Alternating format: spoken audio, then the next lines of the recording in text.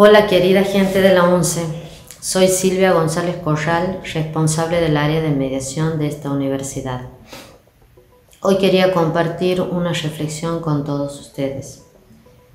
Dicen los que saben que no es tan importante la situación como sí lo es la actitud o la manera en que nosotros asumimos esa situación.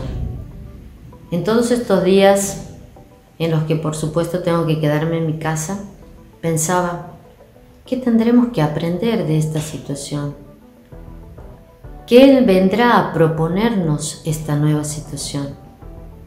Y creo que estamos frente a una gran invitación, la invitación de volver a la casa, de volver a nuestra casa, de volver a los afectos, de volver a compartir, de volver a estar en familia, del volver a mirarnos, del volver a conectarnos con nosotros mismos, de volver a ese lugar en el que todos somos uno, a ese manantial en donde habita lo esencial de la vida.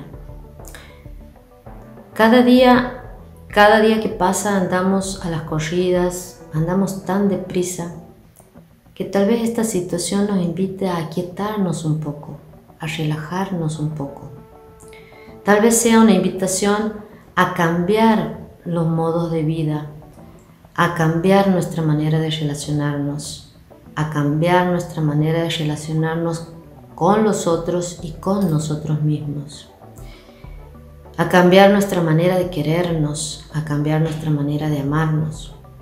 Probablemente también sea una invitación a desapegarnos a todo aquello que hemos aprendido, a todo aquello que es lo conocido, a despojarnos de viejos pensamientos, de viejas ideas, a desvaciarnos de contenidos y volver ahí, a lo profundo.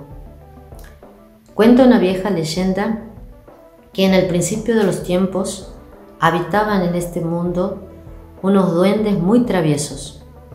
Ellos querían arrebatarnos algo que sea muy importante para nosotros, para la humanidad. Entonces decidieron arrebatarnos la felicidad empezaron a inventar a dónde podían esconderla para que nosotros nunca la podamos encontrar.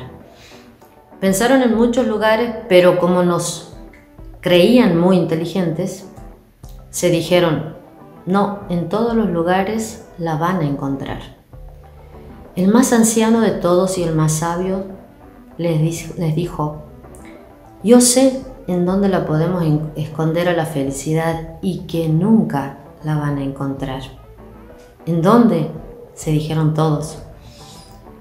La vamos a esconder dentro de ellos mismos, porque van a estar tan ocupados buscándola afuera que ahí nunca la van a encontrar.